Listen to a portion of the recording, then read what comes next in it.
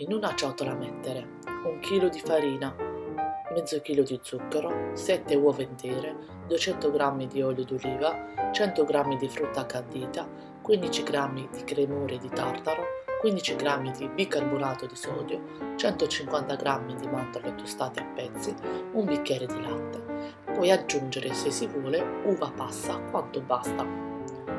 Poi iniziare a mescolare. Successivamente lavorare l'impasto su un piano da lavoro fino a che non sia amalgamato perfettamente.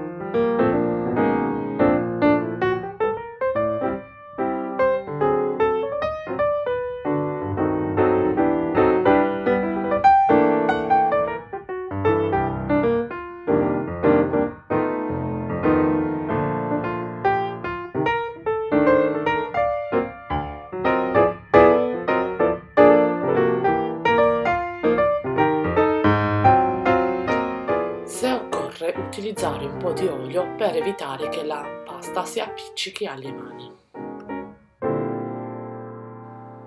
Dopo averlo amalgamato, dividere l'impasto in più forme. Io per comodità realizzo dei piccoli filoncini, così è più facile tagliarlo.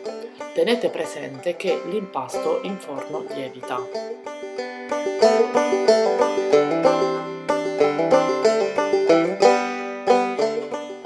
Possibile infornare a 160 gradi per 15 minuti circa. Ovviamente dipende dal tipo di forno che avete. Se avete bisogno di tagliare, ricordate che dovete farlo solo se l'impasto è perfettamente raffreddato. Ecco il risultato e spero che questa video ricetta vi sia piaciuta. Mi raccomando lasciatemi un commento se provate a realizzarla. Ci vediamo al prossimo video. 早